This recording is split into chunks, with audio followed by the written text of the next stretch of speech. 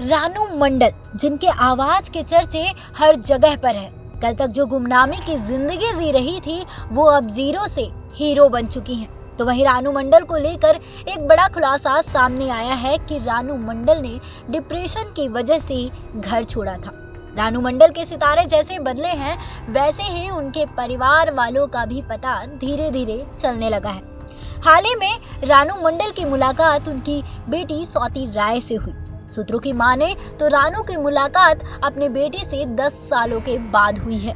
तो वहीं उनकी बेटी पर ये आरोप लगाए जा रहे हैं कि शोहरत मिलने के बाद वो उनसे मिलने आई हैं। इस पर उनकी बेटी ने बताया कि उनकी माँ डिप्रेशन का शिकार रही हैं। तो वहीं स्वाति राय ने बताया कि पिता के मौत के बाद माँ उनके साथ सात से आठ साल रही थी। इसके बाद वो उनके साथ कंफर्टेबल नहीं थी।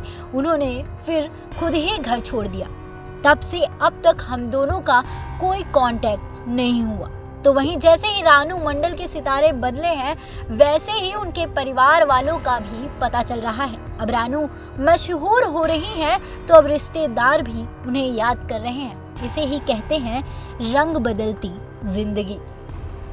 वैसे सवाल तो ये भी है कि उनकी बेटी इतने सालों से उनसे दूर क्यों रही? और जब उनकी माँ कामयाबी की बुलंदियों पर है, तब उन्हें अपनी माँ की याद आ रही है। तब कहा थी जब उनकी माँ रेलवे स्टेशन पर गाना गाकर अपना जीवन यापन कर रही थी। अगर ये बात मान भी लिया जाए कि रानू मंडल ने खुद घर छोड़ा था तो क्या एक बेटी होने के नाते बेटी का फ़र्ज़ नहीं था कि वो अपनी माँ को वापस लाए? अब जब वो मशहूर हो रही हैं तो उन्हें अपनी माँ की याद आई है। S P N nine newsroom से श्रुति की रिपोर्ट।